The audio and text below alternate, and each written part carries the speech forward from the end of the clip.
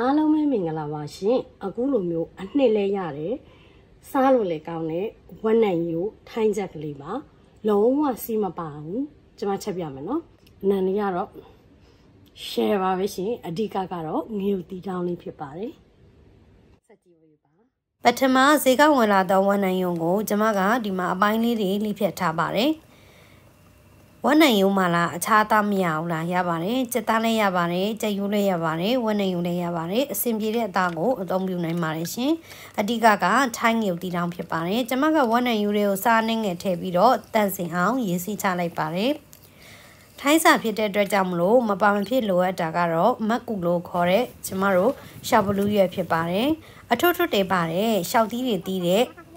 အပင်ရဲ့အရွက်ဖြစ်ပါတယ်ရိုးရိုးရှောက်ရွက်မရပါဘူးခါပါတယ်ဒီရှောက်ရွက်ကမခါပါဘူးရှင်ဟင်းနဲ့ထည့်ချက်တဲ့အခါမှာသူကအရင်မှသာပို့ပြီးအဆင်ပြေပါတယ်လိုအပ်တာလေးတွေကတော့ဒီမှာကျမကရောင်တင်မုတ်စနွင်းမုတ်စနွင်းမုတ်ကပလင်းကြီးတုံးနဲ့ငပိအနေငယ်ဒါကတော့ကျမတို့ဗရဲကောပါဇပလင်မှာကျက်တုံအဖြူနီးလေးဖြတ်ထားတာပါဒါကတော့ငရုတ်သီးမဲ့ပါဒါကတော့ဆွမ်းနာကကျမခူရတဲ့ မကူလို့ခေါ်တဲ့တောလျှောက်ရွက်ရှောက်ဘလူးရွက်ပေါ့နော်ပထမဦးဆုံးကတော့ကျမတို့ဗရဲကောကိုအရင်ထောင်ပါမယ်ဗရဲကောကိုလိဖြစ်ပြီးထောင်မှသာအဆင်ပြေတာဖြစ်ပါတယ်သူကမှာပါတယ်ဗရဲကောလေးတွေနည်းနည်းလေးတွေ ပြားထွက်လာတဲ့အနေအထားဆိုရင်တော့ကျမကစက်သွန်အဖြူနဲ့စက်သွန်အနီကိုထပ်ထည့်ပြီးတော့ထောင်းလိုက်ပါတယ်ရှင်အဖုံးလေးနဲ့ဆိုတော့လူကိုလည်းမစင်ဘူးအပြင်ကိုလည်းမရောက်ဘူးပေါ့ရှင်မဟုတ်အပြင်ရောက်ရောက်လာလို့လေပြီးတော့ဇပလင်လေးထပ်ထောင်းပါတယ်စနွေးမုတ်ထည့်တယ်အယောင်တင်မုတ်ထည့်ပါတယ်ငပိအနေငယ်ထည့်ပါတယ်ရှင် အယောင်တင်မုံကိုတော့တစုံကြော်ကြော်လေးထည့်လိုက်ပါတယ်ပြီးရင်တော့အားရပါရထောင်းပြီးရင်အသုံးပြုနိုင်တဲ့ high style ငရုတ်နှစ်လေးရပါပြီအဲ့ဒါကိုအိုးရဲထည့်ပြီးတော့ကျမကပထမအဆုံးလှော်ပါတယ်ထိုင်းလူမျိုးတွေကလုံးဝစီတက်လေးမရှိပါဘူးစီထည့်ပြီးတော့ချက်ပြုတ်လေးမရှိပါဘူးရှင်သူတို့ကအခုလိုမျိုးလှော်ပြီးသွားတယ်ဆိုရင်အနံလေးမွေးလာတာနဲ့ရေလေးအနှင်းငယ်ထည့်ပြီးတော့ဒီအနှစ်ကိုရအောင်ချက်ပါတယ်နောက်ပြီးတော့သူတို့ကအသားတွေကိုစားစနွင်သွင်းလေးမရှိပါဘူး ကျမကဒီနေ့သူတို့ချက်နေကြပုံစံတိုင်းပဲချက်ပြသွားမှာဖြစ်ပါတယ်ဒါလေးကိုအနှစ်ကလေးနည်းနည်းလေးရသည်ကြီးကျမတို့ဒီမှာတည်ပါတယ်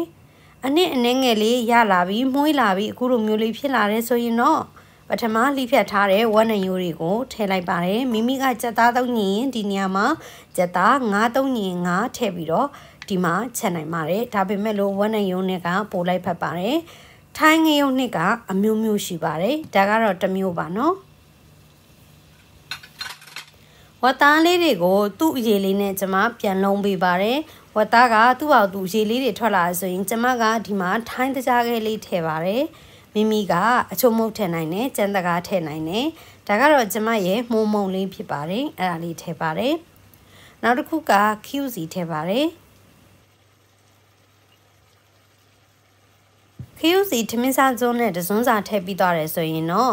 ငံမြာရီ ထမင်းစားစုံးနဲ့တစွန်းစာထည့်ပါတယ်ငါးငံမြာရီပါရှင်ထိုင်းနေကအငံကိုအများကြီးထည့်လိမ့်မရှိဘူးဒါပေမဲ့ကျမကစားလေးနဲ့နဲ့ထည့်တယ်သူတို့ကအဲ့လိုစားထည့်ချက်လိမ့်မရှိပါဘူးစားထည့်တာကတော့ကျမရဲ့အရာသားပေါ့နော်ပြီးတော့ရင်အားလုံးကိုတမအောင်ရောင်းမလေးနဲ့မှုေးမှုေးမှုေးအထက်အောင်လှမ်းပါရှင်သူ့ရေနဲ့ပဲလုံးနေတာပါနော်ကျမရေထက်မထည့်သေးပါဘူးရှင်နောက်ဆုံးကြမှာကျမကရေလေးအနည်းငယ်ထပ်ထည့်ပြီးတော့ ဒီဝက်နံရိုးကိုနူအောင်တည်ပါမယ်ဒါကတော့မက်ကူလို့ခေါ်တဲ့တောလျှောက်ဒီရဲ့အရွက်ဖြစ်ပါတယ်သူကမခအောင်နော်အမားတို့အကယ်၍ရိုးရိုးရှောက်ရွက်ကိုထည့်မယ်ဆိုရင်တော့အဆင်မပြေပါဘူးခါပါတယ်ဒီအရွက်ဒီမခါပါဘူးရင့်လေမှုေးလေပါပဲသူ့ရဲ့အရသာမရှိဘူးဒါပေမဲ့လို့သူ့ရဲ့အနံ့ကတော့တအားကိုမှုေးပါတယ်ရှင်။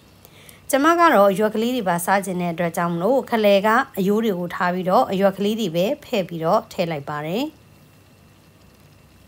သူကကျမတို့ရဲ့ရှောက်ရွက်နဲ့တူပါတယ်ဒါပေမဲ့စန့်ကျင်ဘက်ကသူကအရွက်ရင်းနေမှုေးလေးဖြစ်တာမို့လို့ထိုင်းလူမျိုးတွေအများစုကရင်းတဲ့အရွက်ကိုတုံညာတယ်သူကအနုအနုဆိုရင်အနက်တိတ်မထွက်ဘူးပေါ့နော်ဒါကြောင့်မလို့တုံရတာအဆင်မပြေပါဘူး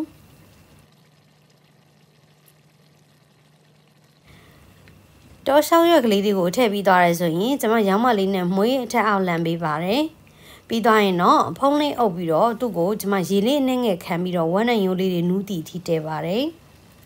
အချိန်တိုအတွင်းမှာဝက်နိုင်ရုံလေးတွေနူးလာပြီလို့ယူဆတယ်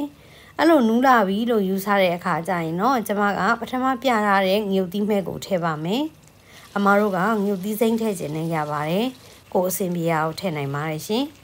သူ့ရဲ့အရာတာကဆက်ဆက်ကလေးနဲ့စားကောင်းတဲ့အရာတာတစ်မျိုးဖြစ်ပါတယ်မွေးကလည်းတအားမွေးတာမို့လို့လှူစားကြည့်ပါမကူရွက်ကိုကိုကရှာလို့မရဘူးဆိုရင်တော့သူ့အစားကိုအမတို့မြန်မာနိုင်ငံအတွင်းကရှိတဲ့ကျမတို့နန်နန်မင်းတို့ပင်စိမ်းတို့ဒါတွေကိုမိမိကြိုက်နေတတ်တဲ့အနံ့ကိုအစားထိုးပြီးတော့ထည့်ပြီးတော့ခြံနိုင်ပါတယ်ရှင်မကူရွက်ရရင်တော့ပိုပြီးကောင်းတာပေါ့နော် မကူဆိုတာကတောလျှောက်သီးအထို့အထို့ရှိတဲ့လျှောက်သီးရဲ့အရွက်ကိုပြောတာဖြစ်ပါတယ်အဲလျှောက်သီးကိုလည်းမကူလို့ခေါ်ပါတယ်အရွက်ကကြတော့ဘိုင်မကူလို့ခေါ်ခြင်းဖြစ်ပါတယ်ရှင်တချို့ကတော့ရှောက်ဘလူးရွယ်ရှောက်နှူးရွယ်လို့လည်းပြောလို့ရှိပါတယ်ရှင်အဆုံးထိကြည့်ပေးတဲ့အတွက်အားလုံးကိုကျေးဇူးများတင်ပါတယ် Thank you ပါ